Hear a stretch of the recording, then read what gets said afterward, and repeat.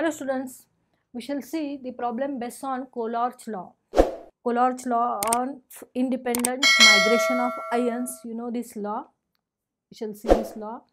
The molar conductance at infinite dilution, lambda 0, or it is also called as molar conductance at zero concentration for NaCl, KBr, and KCl are given, which are 126, 152, and 150 Siemens centimeter square per mole respectively. The lambda 0 value for NaBr in Siemens centimeter square and per mole is.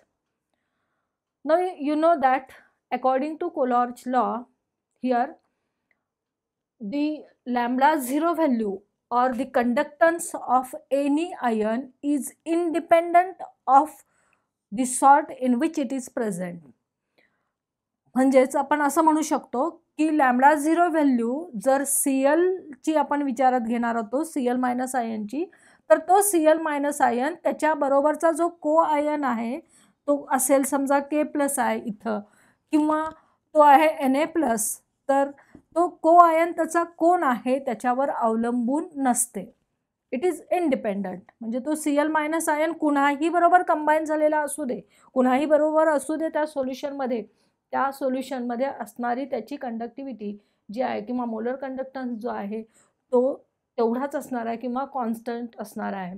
हे कोलार्स law सांगतो आपल्याला आणि त्या ॲप्लिकेशनचा वापर करून म्हणजे ह्या लॉचा वापर करून आपण ज्याची मोलर कंडक्टिव्हिटी डिटमाईन करू शकत नाही वीक इलेक्ट्रोलाईटची किंवा स्ट्रॉंग इलेक्ट्रोलाईटची ती डिटरमाइन करू शकतो कॅल्क्युलेट करू शकतो. आणि त्यासाठी आपण हा क्लू घेतलेला आहे एन एस सी एल ती जी मोलर कंडक्टिव्हिटी असणार आहे it is due to the molar conductivity of N A plus ions and molar conductivity of C L minus ions म्हणजे थोडक्यात आपण असं सांग सांगू शकतो की एन ए सी एलचं आयनायझेशन कसं होतं?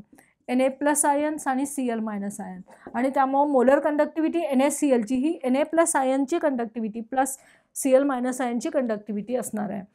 आणि म्हणून आपल्याला आयनायझेशन कसं होतं हे माहीत असलं पाहिजे. K B R it will ionise to give K plus and B R minus K C L दिलेल्या आहेत ज्या कंडक्टिव्हिटीत त्याचा आपण विचार करतो आहे मोलर कंडक्टन्स ज्यांचा दिलेला आहे तो K C L K plus plus C L minus ठीक आहे? म्हणजे हे जे तीन इलेक्ट्रोलाइट्स आहेत ह्या तीन इलेक्ट्रोलाइट्सपासून कु कोणकोणत्या आयन्स मिळतात? एन ए सी एलपासून आपल्याला एन ए प्लसची कंडक्टिव्हिटी मिळू शकते सी एल मायनसची कंडक्टिव्हिटी मिळू शकते. K B आरपासून K plus B R minus K C एलपासून K plus आणि सी एल मायनस आणि या ज्या व्हॅल्यू दिलेल्या आहेत त्या व्हॅल्यूवरून आपल्याला डिटरमाइन काय करायचं आहे? तर एन ए बी आरचं मोलर कंडक्टन्स डिटरमाइन करायचं आहे. आता हा प्रॉब्लेम सॉल्व करताना अगदी सोपा क्लू काय वापरायचा?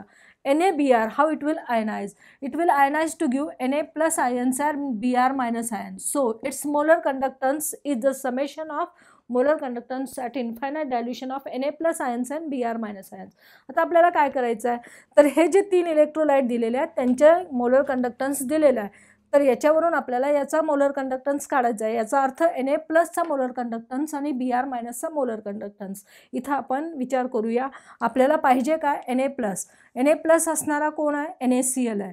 म्हणजे इथं आपल्याला एन ए बी आरचा जर मोलर कंडक्टन्स काढायचा असेल तर आपण हे सांगू शकतो की it is equal to molar conductance of N A C L कारण आपल्याला N A plus I N पाहिजे.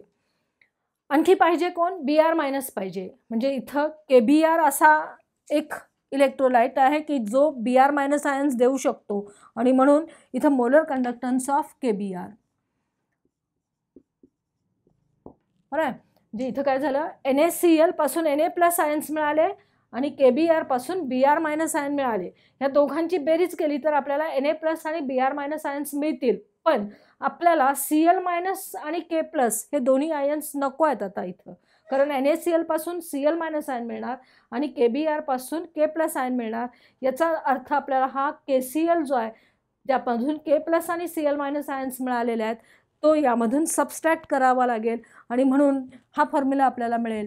So lambda zero is equal to lambda zero of N A B R is equal to lambda zero of N A C L plus lambda zero of K B R minus lambda zero of K C L जे तुम्हाला हा problem solve करणं अवघड नाही आहे फक्त बेरीज आणि वजाबाकी करायची आहे पण त्यासाठी आधी समजून घेतलं पाहिजे काय करायचं आहे आपल्याला. जो हेस लॉमध्ये आपण थर्मोडायनॅमिक्समध्ये याच पद्धतीचा विचार करतो आहे बघा. जे पाहिजे आपल्याला म्हणजे जे आहे प्रोडक्ट साईडला किंवा जे रिॲक्टन साईडला असेल तिथं लागतं तसं. इथं आपल्याला प्रोडक्ट साईडला काय पाहिजे? एन ए प्लस आणि बी आर मायनस पाहिजे. जे प्रोडक्ट साईडला एन ए प्लस असणारा हा कंपाऊंड आहे. बी आर मायनस प्रोडक्ट साईडला असणारा के बी आर आहे इथं. या दोघांची बेरीज करणार आपण. पण आता यापासून आपल्याला मिळणारा जो सी एल मायनस आणि के प्लस आहे त्याला आपल्याला डिलीट करायचा आहे त्याला आपल्याला सबस्ट्रॅक्ट करायचा आहे मग तो असणारा कोण आहे? के सी एल की जो के प्लस आणि सी एल मायनस आयन देतो. म्हणजेच हा जर या दोन्हीमधून सबस्ट्रॅक्ट केला आपण तर यातनं के आणि C L minus ions cancel होतील आणि राहील फक्त N A plus B R minus जे हे आपण इथं बघूनही सांगू शकतो. एवढ्या सगळ्या रिॲक्शन्स बघायची गरज नाही आहे किंवा लिहायची गरज नाही आहे जेव्हा तुम्ही सी ई टीचा प्रॉब्लेम सॉल्व करता तेव्हा एवढा वेळ घालवायला आपल्याला मिळणार नाही. फक्त हे बघून लक्षात ठेवता येते आपल्याला. K B R N A B R पाहिजे. एन ए सी एल आहे. बी आर असणारा के बी आर आहे. म्हणजे या दोघांची बेरीज करतोय आपण. हा सी एल आणि के बी आर म्हणजे के कॅन्सल करायचं असेल तर के सी एल यातून वजा करणार.